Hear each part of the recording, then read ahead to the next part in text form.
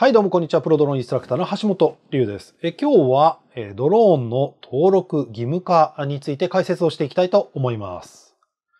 えまず概要から説明していきたいと思います。えドローンの登録が義務化となることなんですけども、こちらは令和4年、来年ですね。令和4年6月20日よりドローンの登録が義務化となるということです。リモート ID 機能の搭載も義務化されます。えただし、猶予期間があります。ドローンの定義が 200g 以上から 100g 以上という形で拡大されています。ですので、DJI のね、Mavic Mini、DJI Mini 2などお持ちの方々も対象となります。また、その形状や機能、性能によっては、機体登録ができないドローンも出てきました。改造もある程度許されています。登録費用は900円から2400円という形で費用がかかってきます。さあ、これをね、深掘りをしていきたいと思いますので、えー、お付き合いいただければと思います。まず最初、対象となるドローンが 100g 以上になったというところですね。えこちらは、え背景として、まあかなりね、え小さいものでも機能が充実充実してたり、安定した飛行ができるものも多くなりましたよね。こういったものを鑑みて、えー、官民協議会でね、一回見直しをしようということを議論を経て、登録制度の導入時期に合わせて実態に即した重量値に変更するということなんですね。この変更する値というのが 200g から 100g に変わっていくというふうになるわけですね。えー、なので、えー、皆さん先ほども言いましたけども、Mavic Mini、DJI Mini 2、こちらお持ちの方々も機体登録の義務ということになりますので、必ず登録しないと飛行はさせられません。さあ、続いてです。登録できない機体があるということもご存知でしょうか。登録できない機体があるというところですが、遠隔操作または自動操縦による飛行の制御が著しく困難である無人航空機。例えば、操縦を、プロポの操縦をね、操作を、伝送が遅れるなど、いわゆるその操縦者のスキルによらず挙動が発散するというもの、通信が不安定で、えー、安定的に飛行ができないといったものを想定しているそうです。もう一つ、突起物についてですね。突起物があるもののドローンも登録できない機体というふうになります。これ突起物ね、容易に想像できるのはプロペラがついてる自体が突起物じゃないかというふうに考える方もいらっしゃるかも思いませんが、ドローンもともとマルチコプターに関してはプロペラが回転しないと揚力が得られないため、それはもう備わった機能であります。ですので他にね、例えば落下や飛行中に第三者に接触した際に突き刺さるなどの危害が加えうる懸念、こういったものが想定されるものについては突起物とみなされて突起物があるものは機体登録ができませんよ。すなわち日本国内では飛行させることができないというものになります。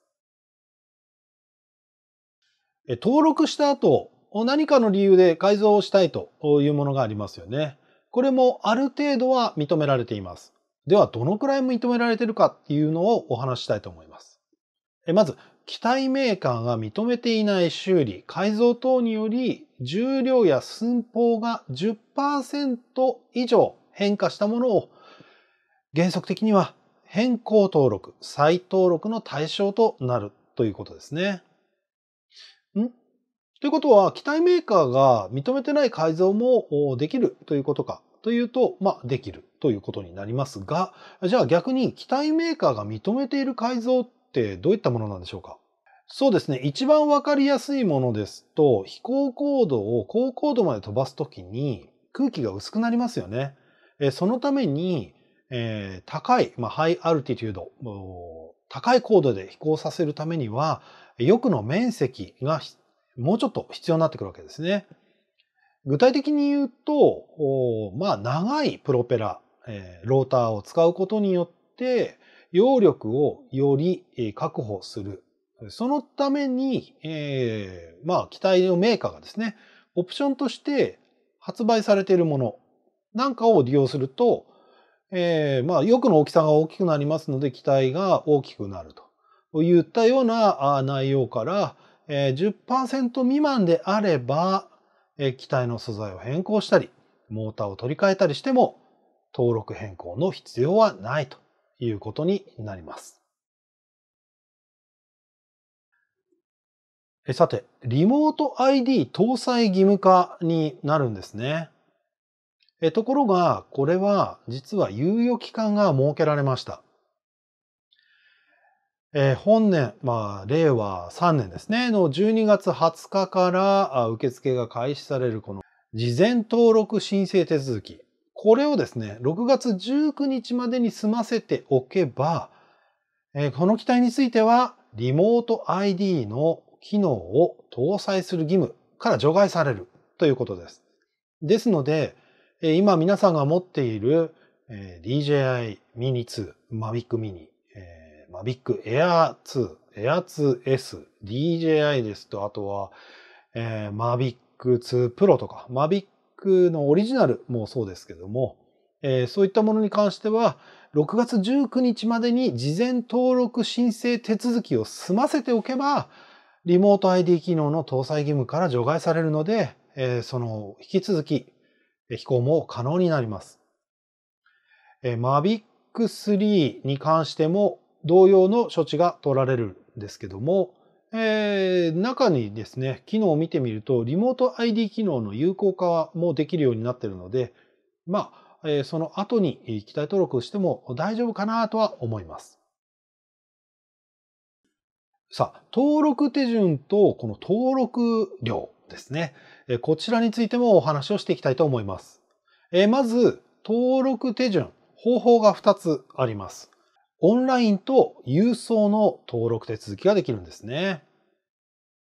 また、オンライン、郵送でも登録費用が異なってきます。さらに、オンラインの中でも本人確認方法によって費用が変わってくるんですね。まず、郵送についてです。郵送については、申請書類を記入して、郵送で送ります。費用については、1期目が2400円。2期目以降が2000円。これ1期あたり2000円となります。オンラインの方法と費用ですね。これ本人確認書類によって値段が変わってくるんですね。まず一番安い。まず一番登録料が安いもの。はい。マイナンバーカードもしくは法人の場合は GBizID アカウント。こちらを使って登録する場合は1期目が900円。2期目以降が1期あたり890円となります。かなり安いですよね。そしてもう一つ。運転免許証、パスポート、及び顔面画像データを用いた顔認証を実施する方法だと、1期目が1450円、2期目が1050円、こちら1期あたりですね、という費用が発生します。もう一つの方法、えー、マイナンバーカードも持ってません、えー、GBiz アカウントもありません、運転免許証もパスポートも持ってません。という方々のための対応方法ですね。こちら、オンラインで申し込んで、先ほど以外の本人確認書類を郵送する場合は、1期目が1450円、2期目が1050円、1期あたりですね。という費用が発生します。よく考えられてますよね。まずはこう、マイナンバーカードや GBizID などを使った登録を推奨するので値段をぐっと抑えてきてます。逆に言うと、書類で全て完結するという形では、2400円。かなり金額が高いですよね。の費用が発生するというところです。えー、登録に必要な書類ですね。先ほど言いました。え、こちらですね、登録に必要な書類が、2つ証明書が必要になってきます。運転免許証や運転経歴証明書、在留カード、特別永住者証明書、マイナンバーカード、国民健康保険、健康保険、船員保険等々等々という形でかなりえー、証明できる書類が多くなってるんですけども、こちら、いずれかを2種類合わせてコピーか、まあ、写メを取って印刷をして、え提出してくださいということになりました。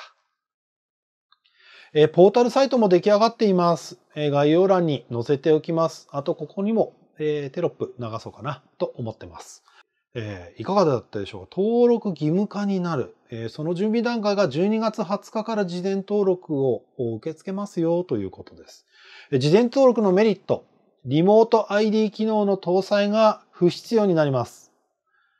これはかなり大きいですよね。Mavic 3ではその機能のリリースがされる予定でプログラムも組まれています。え、ところが DJI シリーズ、他のシリーズに関してはこのリモート ID 搭載、え、リモート ID の機能の搭載というのが想定されてないので、現行ほとんどのドローンがこのリモート ID を搭載しなければいけないんだが、6月19日まで申請の手続きが完了していれば、今まで通り飛行が可能になります。さあ、ということで、いいと思ったらグッドボタン、悪いと思ってもグッドボタン、チャンネル登録ぜひよろしくお願いいたします。それじゃ。